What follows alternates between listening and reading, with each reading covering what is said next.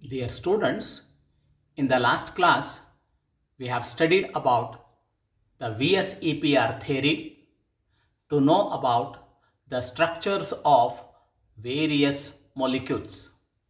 VSEPR theory predicts the structure of the various molecules.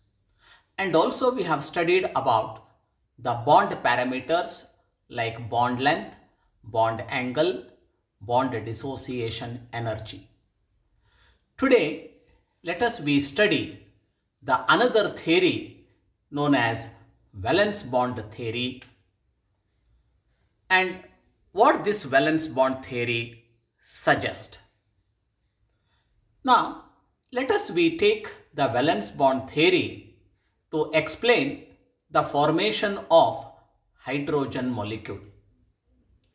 It is based on the concept of atomic orbitals and also the orbital configuration of the atoms. According to valence bond theory, the cause for chemical bonding is to acquire minimum energy and maximum stability. To illustrate this, consider the formation of hydrogen molecule. And the graph here is potential energy versus the internuclear distance. Let's two hydrogen atoms HA and HB with their electronic electrons EA and EB approach each other. When they are quite away from each other, their potential energies are. When they come closer, the electron of one atom comes under the nuclear influence of the other atom. During this process, the following electrostatic attractive and repulsive forces are set up. That is, nucleus of an atom HA attracts the electron of EB and nucleus of HB attracts the electron of EA. These are the two attractive forces. Similarly, nucleus of HA repels the nucleus of HB and electron of A repels the electron of B. In the beginning, the attractive forces are stronger than the repulsive forces because the atoms are coming from the larger distance to nearer and nearer. Therefore, the atoms keep on approaching and the potential energy of the system goes on decreasing.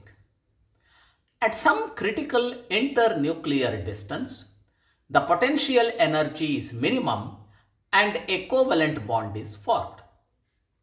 This distance represents bond length which is equal to 0.74 angstrom. The energy released during the formation of bond between the hydrogen atoms is called bond enthalpy which is equal to 435.8 kilojoules per mole. That is when two hydrogen atoms comes from the infinite distance to form a hydrogen molecule, during this process, energy is released. That energy released is 435.8 kilojoules per mole. In other words, if 435.8 kilojoules of energy is supplied to one mole of hydrogen molecules, they dissociate into two hydrogen, two moles of hydrogen atoms. This is called bond dissociation energy. Now, let us we study the valence bond theory in covalent compounds. Heitler and London proposed this theory in 1927 and later modified by Pauling and Slater in 1931. According to valence bond theory, covalent bond is formed by overlapping of atomic orbitals. Overlapping means the two orbitals share a common region in space. For bonding to occur, each atom should have an unpaired electron of opposite spin. Greater the overlapping of atomic orbitals, stronger is the covalent bond. Maximum electron density creates between the two nuclei because of overlapping of atomic orbitals so that electron pair becomes common to both the nuclei. A stable molecule is formed when there is a decrease in the potential energy of the molecule. Multiple bond formation is possible when there is overlapping of more than one orbitals containing unpaired electrons. The number of covalent bonds formed by an atom is equal to the number of unpaired electrons. The paired electrons cannot participate in bond formation. However, they do so if they gets unpaired with the small expenditure of energy. These are all about the main features of valence bond theory. There are three types of overlapping, namely SS overlapping, SP overlapping and PP overlapping. SS and SP overlapping always results the overlapping along the axis. PP overlapping results in two ways that is one is along the axis and another way is sideway overlapping. The covalent bond formed by the axial overlapping of atomic orbitals is called sigma bond. It is stronger bond and the electron cloud is symmetrical about the line joining the two nuclei. Only one sigma bond is possible in between the two nuclei. It is found in SS, SP and PP overlappings. The covalent bond formed by the lateral overlapping or sideway overlapping of atomic orbitals is called pi bond. It is weaker than the sigma bond due to sideway overlapping of atomic orbitals. The electron cloud is unsymmetrical in pi bond. It is formed only after the formation of sigma bond. Maximum two pi bonds are possible between the two atoms and only one sigma bond is possible between the two atoms. Without the sigma bond, there is no pi bonds at all. Based on this concept, let us we study the simple molecules like the hydrogen, HCl, fluorine and oxygen molecule, how they are going to be formed. The hydrogen molecule is formed by the overlapping of 1s orbital of one hydrogen atom with 1s orbital of another hydrogen atom and this overlapping is known as SS overlapping and the bond formed is the sigma bond because these two orbitals overlaps axially. In case of the HCl molecule, 1s orbital of hydrogen overlaps with 3p z orbital of chlorine atom to form sp overlapping this also leads to the formation of a sigma bond.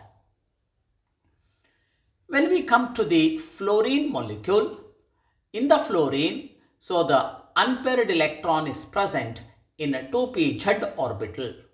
Therefore, 2p z orbital of one fluorine overlaps with 2p z orbital of another fluorine resulting in pp overlapping and the bond formed is a sigma bond. Let us we consider the another molecule, the oxygen molecule. In the oxygen molecule, two unpaired electrons are in 2py and 2pz orbitals. So, these two orbitals are perpendicular to each other. So, out of the two, so one orbital overlaps axially and another orbital overlaps laterally. The axial overlapping leads to the formation of sigma bond, lateral overlapping leads to the formation of pi bond. Therefore, we come across the two bonds in oxygen molecule. Now this is a slide that shows about the valence bond theory. So whatever we have discussed so far.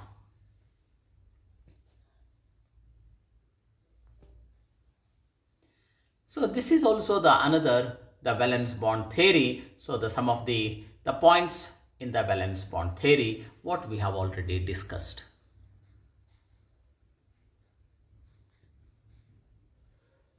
So this slide shows how a sigma bond is formed between the two atoms by axial overlapping of atomic orbitals and also shows the pi bond which is formed by the lateral overlapping of atomic orbitals.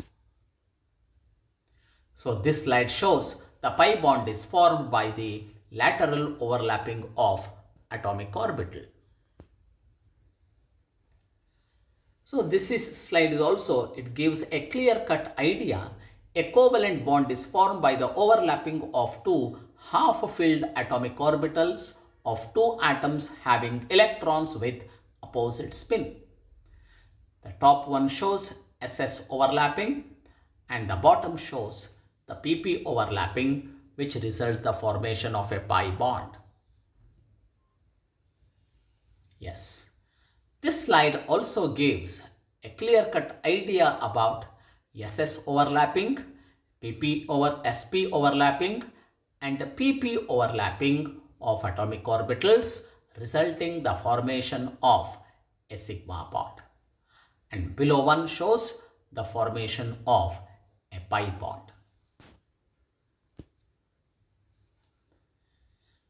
Students, in the next class, let us we study about the concept of hybridization and how the hybridization has come into the, the picture. Go through this about the valence bond theory. If you have any doubts, you can ask. Thank you.